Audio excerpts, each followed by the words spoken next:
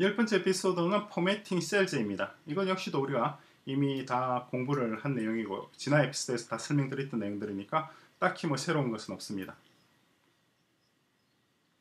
보시고 어, 뭐 본문 읽어보지 않으셔도 될 거예요. 이미 다 수업 시간에 에피소드 설명했으니까 challenge 하시면 됩니다. example 파일 여시고 이게 example 파일이죠. 요 지금 아무것도 없는 좀 밍숭맹숭한 상태인데 이것을 어, 여기 있는 지시대로 한번 그대로 따라서 포매팅을 해서 요러한 방식으로 이렇게 요런 모양이 나오도록 한번 진행해 보시기 바랍니다.